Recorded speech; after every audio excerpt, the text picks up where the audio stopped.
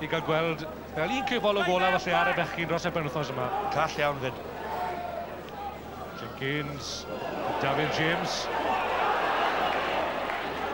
Ganolwr cyhyrog, David James. Neud i waith yn iawn fyna. Jenkins i Geraint P. Lewis. Dwylo da, Geraint War at i fewn. O, bron a gyrraedd. Paul John wedi...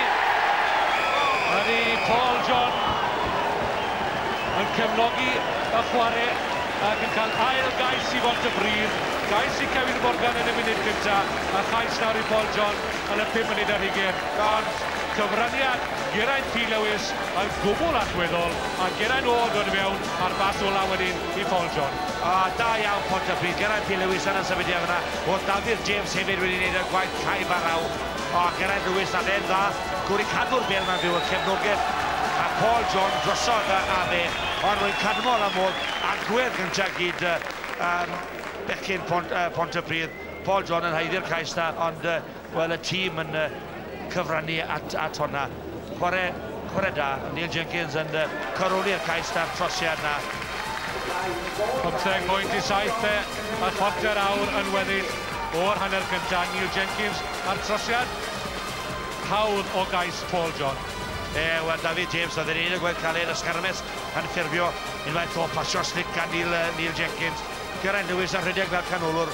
Um, Geraint, y ddau Geraint Lewis yna uh, yn ymuno ymlaen ysgellwr fel canolwr a'r ysgellwr hefyd yn ei waith yn dda. Cadw'r bel yma ar dir byw a Paul John uh, yn cwblhau'r uh, uh, symudiad yr asgellwr sy'n edrych i ffordd o redeg, ni'n siarad lot am llinellau redeg. Drychwch ar y llinell o redeg Geraint Lewis fan hyn, fel oedd Ray yn gweud. Mae'n dewis to mewn, mae'n gweld na le mae'r cyfle wrth ysgydd Geraint Lewis. Mae'r benig, y ddoe Geraint Lewis wrth gwrs.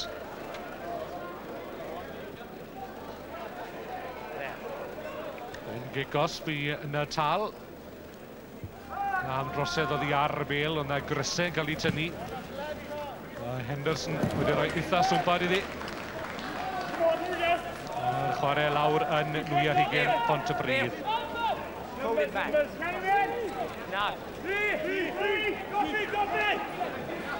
Trwy'n uh, Natal yn torri'r lein. Holmes. I Davidson. Peter se, bas wrth Appleford, wel. Mae'n lot o ddewis o gefe, gafodd e dacl. Dderbyniodd e dacl gol gadar. O'n i'n teimlo bod Bela wedi mynd mlaen. Uh, Hoffwn i weld hwnna tro, yn amddiffyn Pontypridd, ond o lan y sydyn iawn, mae roed, uh, mae roed, uh, mae rai bod lan ar y cwrthwynebyr yn, yn gyflym iawn, yn enwedig pan bod uh, chi'n gwynebu'r bechyn fel uh, Schrader a Pwlfwr yn y canol, nath nhw'r gwaith yn iawn. Sowerby i Craig McIntosh, chydig tu flaen i Jeff Appleford, nawr te.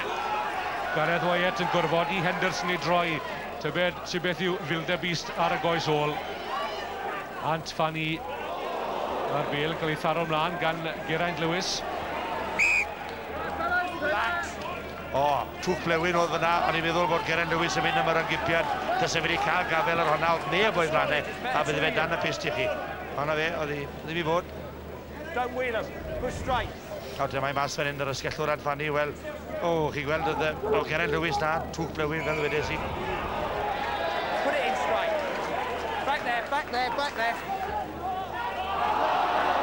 John eto yn chwilio am y bwlch yr ffigiad y cynorthwy oddi wrth Neil Jenkins dros y dwy ar hegel pont y bryd yn gwasgu eto yn chwilio am i trydydd cais ond uh, y bel i gwastraffu Wyn reit ar ddechrau'r gêm ac yn iawn i wneud o'n i'n cefnbol Martin Williams oedd yn bobman. Wel, nawr, Geraint Lewis, Geraint P. Lewis, mae wedi bod yn bobman yn ystod y 5-10 munud diwethaf. Mae'n cynorthwyo, yn rhedeg fel canolwr yn dosbarthu'r bel, hyfryd o chwarae.